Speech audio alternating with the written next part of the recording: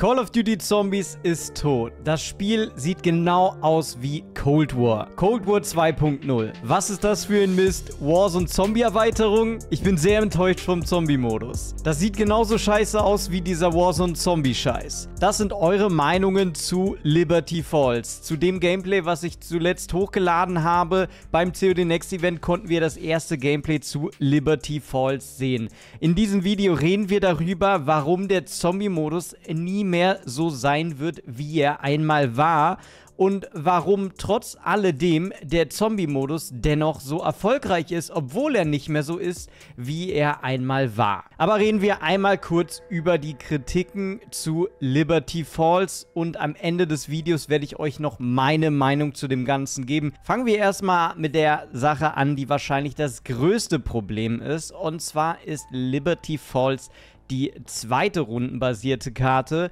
Die richtige Zombie-Map, die wir eigentlich zum Start hätten sehen sollen, wäre Terminus Island gewesen. Hiervon haben wir zwar schon Gameplay gesehen, jedoch haben wir nicht gesehen, wie Spieler die Map gespielt haben.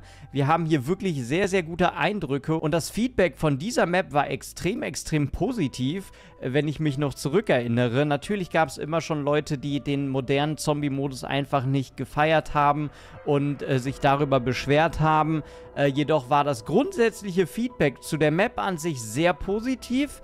Und äh, bei Liberty Falls ist das Ganze genau in die andere Richtung gegangen, denn wir haben einmal keine feste Crew. Wir haben also keine Charaktere, die wir fest spielen können, um erstmal diese Persönlichkeiten zu verstärken, die den Zombie-Modus ja so ausgemacht haben. Ich sag einfach nur ein paar Namen. Nikolai, Richtofen, Dempsey, Takeo. Ich glaube, das reicht schon, um bei den meisten Leuten Nostalgie auszulösen und natürlich den Bezug zum Zombie-Modus herzustellen. Bei Liberty Falls nicht. Das gibt es bei Terminus Island, aber bei Liberty Falls nicht. Und natürlich sehr, sehr doof, dass sie das dann, ähm, naja, dass sie Liberty Falls zeigen, wo es keine festen Charaktere gibt gibt.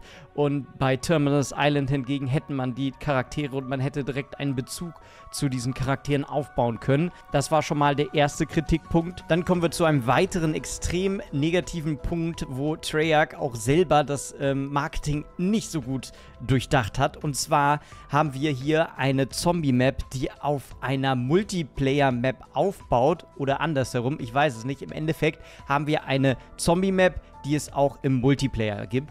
Und wir haben kurz bevor wir den Zombie-Modus gesehen haben, den Multiplayer gesehen. Und da haben wir schon gesehen, wie Leute auf der Multiplayer-Map, also auf Liberty Falls, gespielt haben. Und das Ganze nimmt dem den Zombie-Charakter so ein bisschen raus. Also wenn wir eine Multiplayer-Map haben und wir spielen da Multiplayer, dann verbindest du die Map nicht direkt mit dem Zombie-Modus und ich weiß nicht, das war ja auch schon äh, in vergangenen CODs immer mal so ein Problem. Bei Cold War gab es äh, viele Maps, die auf die Kampagne basiert haben. Das fand ich nicht ganz so schlimm, wie wenn es Multiplayer-Maps sind, denn dadurch verliert das Ganze den Zombie-Charakter, in meinen Augen. Das ist natürlich für jeden selbst überlassen, aber ich glaube, das Feedback von der Community war dahingehend, dass es halt natürlich sehr offensichtlich war, dass das äh, recycelte Assets sind und sehr unvorteilhaft, dass sie diese Map vor dem Zombie-Showcase sozusagen einfach mal gezeigt haben im Multiplayer. Kommen wir jetzt zu dem nächsten Punkt und zwar die mangelnde Atmosphäre, die Liberty Falls nun mal eben hat. Denn ähm, für eine Zombie-Map braucht man natürlich auch eine bestimmte Atmosphäre, um überhaupt ähm, ja, dieses Zombie-Feeling aufleben zu lassen. Hier stehen Terminus Island und Liberty Falls wieder in einem guten Kontrast, denn Terminus Island hat hier hingegen eine extrem, extrem gute Zombie-Atmosphäre. Alleine dieses tropische Feeling bei Nacht, Zombies, Labor, irgendeine Einrichtung, die irgendwelche geheimen Experimente versucht zu geheim zu halten. Dann ist da noch ein Gefängnis. Also das ist schon, das Ganze passt sehr gut in den Zombie-Modus, wohingegen eine offene Stadt, äh, die eigentlich sehr freundlich aussieht, nur halt, weil sie zerstört wurde und weil jetzt Zombies da sind, heißt noch lange nicht, dass diese Map dann eine Atmosphäre hat, die für den Zombie-Modus geschaffen ist. Da ist natürlich dann klar, wo der Fehler ist, und zwar, dass diese Map nicht unbedingt geeignet ist für eine Zombie-Map. Und zudem kommt auch noch der Punkt, dass diese Map dann nochmal sehr stark aussieht wie ähm, eine Outbreak-Karte wie Golova, falls ihr euch erinnert. Diese Map hat auch überhaupt keine Atmosphäre gehabt. Es war bei Tag generell, die Outbreak-Karten waren alle bei Tag. Klar, ist ein ganz anderer Spielmodus, aber da kam man ja auch nie wirklich in diese Zombie-Atmosphäre, da die meisten Maps bei Tag waren, außer natürlich Sanatorium. Und äh, genau das ist ein Punkt, weshalb viele Leute das dann direkt mit äh, Golova vergleichen. Und natürlich hier hat man nicht so die guten ähm, ja, Zombie-Erfahrungen wie jetzt auf alten Zombie-Maps, alleine wenn man sich äh, Kino der Toten anschaut. Witzigerweise war Kino der Toten sogar bei Tag. Also wenn ihr einmal in diese Gasse gegangen seid, dann hattet ihr natürlich auch Sonnenlicht. Und äh, nur in der Facility, also in der Einrichtung an sich, äh, war es ein bisschen dunkler, weil ihr kein Licht hattet. Aber trotz alledem, die Map war bei Tag und trotzdem hat man Atmosphäre geschaffen bekommen. Also es zählt viel mehr dazu als ob es Tag oder Nacht ist. Ähm, aber das hat natürlich auch irgendwo Einfluss auf die Atmosphäre. Aber kommen wir jetzt mal weg von den optischen ähm, Kritikpunkten zu den Gameplay-Kritikpunkten, weil da trennen sich äh, die ähm, die Community beziehungsweise die Meinungen der Community, da wir äh, ja die Entwicklung haben, dass der Zombie-Modus zu einem, sage ich jetzt mal, Warzone-ähnlichen Zombie-Modus wurde. Das Ganze hat schon bei Cold War angefangen. Da hat es angefangen, dass wir kein Schild mehr bauen müssten, sondern Rüstungen hatten. Wir haben ähm, Munitionsboxen auf der Map, äh, so können wir immer wieder Muni auffüllen. Wir sind mit einem Loadout in die Runde gegangen, so brauchte man eigentlich gar nicht mehr die Wandwaffen oder die mysteriöse Box zu kaufen, da man mit seiner Loadout-Waffe meistens gut zurechtkam. Und das Ganze hat so ein bisschen die, die äh, Zombie-Atmosphäre, dieses Zombie-Gameplay nichtig gemacht, sagen wir es mal so. Also es ist ein ganz großer Unterschied zwischen Cold War Zombies und zum Beispiel Black Ops 3 oder Black Ops 2. Und hier ist der entscheidende Punkt, wo sich die Community nicht einig ist, beziehungsweise äh, es ist eigentlich offensichtlich, dass dieser Modus gezielt so ausgelegt ist, dass wir ein Erlebnis haben, welches Warzone ähnelt, damit mehr Spieler, die auch Warzone spielen, äh, auch in den Zombie-Modus eingeführt werden können und sich dort wohlfühlen. Denn im Endeffekt geht es Activision, wie natürlich jedem großen Spieleunternehmen, äh, darum, dass sie genug Spieler haben, damit die Spieler das Spiel viel spielen, damit sie dann Skins kaufen und damit sie dann im Endeffekt viel Geld dalassen. Es geht nur darum, das ist ja klar. Deswegen können wir eigentlich davon ausgehen, dass der Zombie-Modus sich nicht mehr zurückentwickeln wird zu dem, wo er mal war. Also zu diesem es ist schwierig, wir haben komplexe Easter Eggs, man geht sehr schnell down in den Runden und äh, das ist natürlich das, womit wir groß geworden sind oder die Leute, die damals Zombies angefangen sind, die haben damit äh, angefangen und äh, verbinden damit ihre positiven Erinnerungen.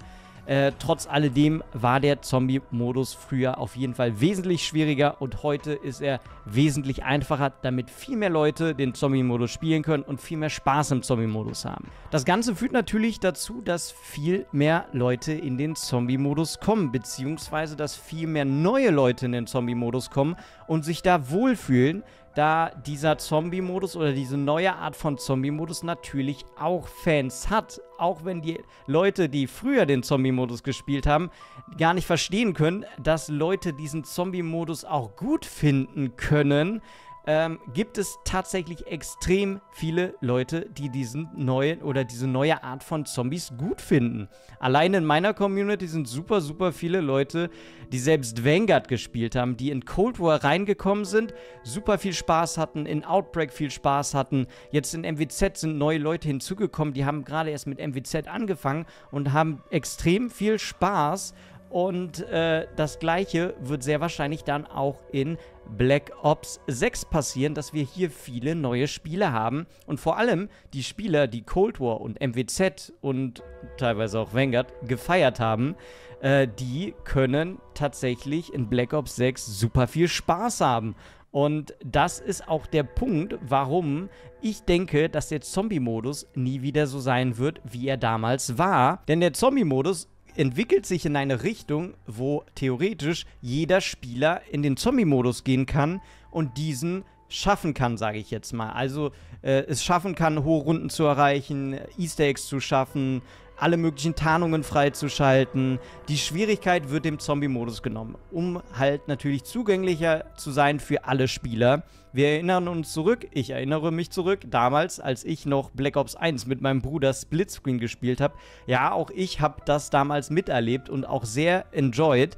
Aber damals war natürlich der Punkt, du bist nach zwei Schlägen down gegangen und äh, dann hat man höchstens vielleicht mal Runde 10 erreicht oder Runde 15 und dann war Schicht im Schacht. Klar ist es natürlich cooler, wenn man ähm, ja, sich mehr anstrengen muss, um hohe Runden zu erreichen. Und es war natürlich sehr, sehr cool damals zu sagen, yo, ich habe es geschafft, in Runde 30 zu überleben.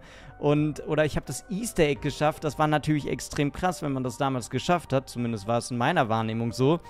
Jedoch hat sich das Ganze sehr geändert, äh, sodass jeder es schaffen kann. Ob das gut oder schlecht ist, äh, ist jedem selber überlassen. Der eine mag es schwieriger, der andere mag es leichter. Und äh, heutzutage hat sich der Zombie-Modus halt zu dem Leichten entwickelt, damit jeder es schaffen kann. Die meisten Spieler, die halt mit dem alten Call of Duty Zombies groß geworden sind, werden sich sehr wahrscheinlich nicht dem anpassen, wie es heute ist. Ich habe mich tatsächlich angepasst. Klar, ich mache jetzt auch YouTube-Videos dazu und natürlich mag ich den neuen Zombie-Modus.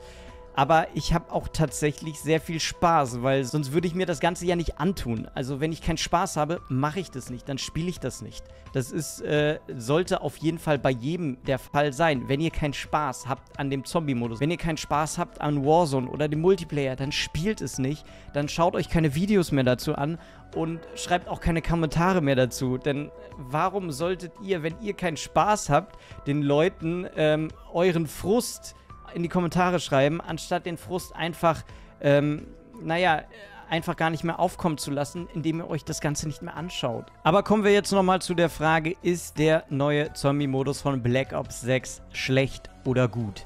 Und da kann ich auf jeden Fall natürlich noch kein Urteil drüber fällen, weil ich selber noch nicht gespielt habe. Wir haben hier eine Beta-Version äh, gesehen. Wir haben noch keine Easter Eggs gesehen. Und generell können wir nicht darüber urteilen, wenn wir es nicht gesehen haben, gespielt haben, unsere Erfahrung darin gemacht haben.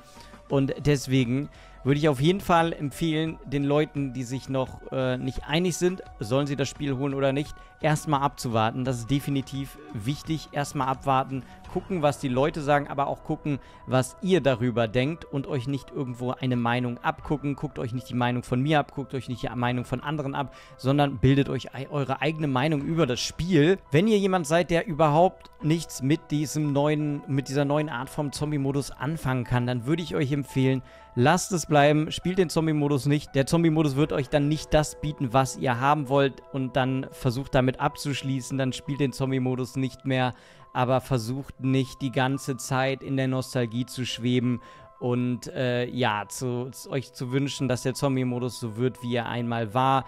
Denn er wird wahrscheinlich so in der Art bleiben. Wir werden sehr wahrscheinlich keinen Oldschool-Zombie-Modus mehr bekommen. Und selbst wenn der Zombie-Modus irgendwann mal so sein sollte, wie er es einmal war, dann werden die Leute trotzdem diesen Zombie-Modus nicht mögen, denn man kann die Nostalgie nicht wieder herbeirufen.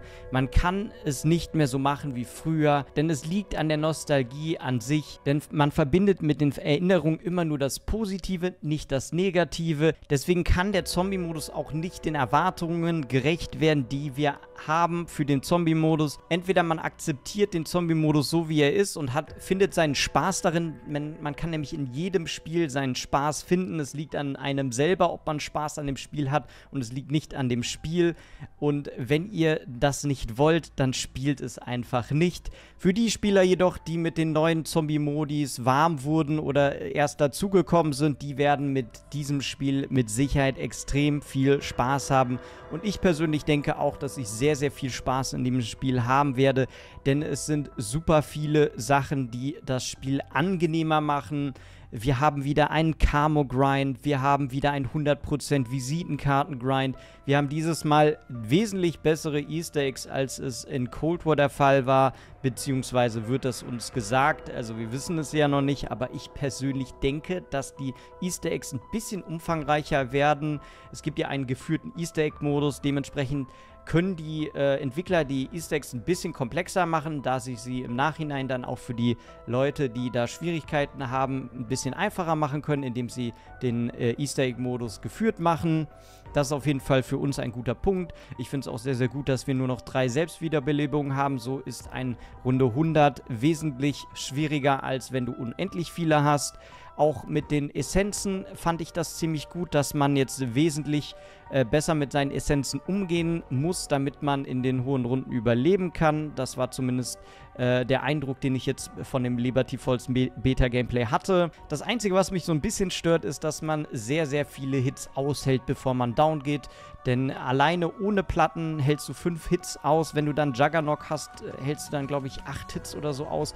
Und wenn du dann noch Platten hast, dann äh, naja, hältst über 10 Schläge aus, um dann, bevor du erstmal down gehst. Das ist schon ein bisschen viel, finde ich. Ähm, aber da werden wir dann sehen, wie es äh, ist, wenn das Spiel draußen ist. Es kann ja auch sein, wenn viele verschiedene Gegnertypen auf der Map sind, die euch dann permanent irgendwie von Distanz oder so hitten, dass es ein bisschen schwieriger sein könnte. Aber da habe ich so meine größten Bedenken, dass es dann doch vielleicht zu einfach sein könnte. Ich persönlich bin jetzt auch nicht der größte Fan von der Liberty Falls Map. Die Atmosphäre gefällt mir nicht. Und äh, ja, der Map-Aufbau war mir ein bisschen zu langweilig, aber wir werden es sehen. Ich hätte eigentlich ein bisschen mehr erwartet, vor allem dieser Dunkeläther-Teil, wo äh, der Pack-a-Punch ist. Da hätte ich jetzt auch gedacht, dass er viel mehr ist, aber dass es nur dieser kleine Bereich ist, ist ein bisschen, ja, ernüchternd, ein bisschen zu wenig. Aber ich denke, Terminus Island wird uns komplett abholen. Liberty Falls wird auch seine guten Aspekte haben, denn ich kann mir vorstellen, dass man dort sehr, sehr gut Tarnungen grinden kann. Und ich bin extremer Fan davon, Tarnungen zu grinden oder irgendwelche Sachen zu grinden. Das ist meine Motivation, die ich in dem Spiel habe. Und äh, so hatte ich extrem, extrem viel Spaß in Cold War. Und ich hatte fast 25 Tage In-Game-Spiel Spielzeit in Cold War Zombies und hatte trotz, dass es nur vier rundenbasierte Zombie-Maps und halt Outbreak gab, sehr, sehr viel Spaß in dem Spiel und konnte sehr lange das Spiel spielen, obwohl es so einfacher, obwohl es, äh, obwohl die Easter Eggs so nicht so komplex waren. Also ich mag die neue Art vom Zombie-Modus, aber äh, das ist natürlich jedem überlassen. Die Kritik an Liberty Falls verstehe ich zum Teil, jedoch an dem Modus an sich Klar, verstehe ich auch, aber ich finde es ein bisschen übertrieben und ich finde, die Leute sollten nicht zu viel an der Nostalgie hängen. Und wenn sie diesen Modus nicht mögen, dann sollen sie doch einfach COD-Zombies aufgeben, denn es wird nicht mehr so, wie es einmal war. Und ich denke mal, das sind gute abschließende Worte. Ich hoffe, das Video hat euch gefallen und ihr konntet meine Sichtweise verstehen. Ihr könnt natürlich hier alle möglichen Kommentare dalassen. Ihr könnt mich auch gerne kritisieren. An der Stelle würde ich sagen, schaut euch unbedingt noch das Video zu Terminus Island an, falls ihr das noch nicht gesehen habt. Da habe ich auch den Zombie-Modus an sich nochmal erklärt. Das war's von mir. Haut rein. Bis zum nächsten Mal.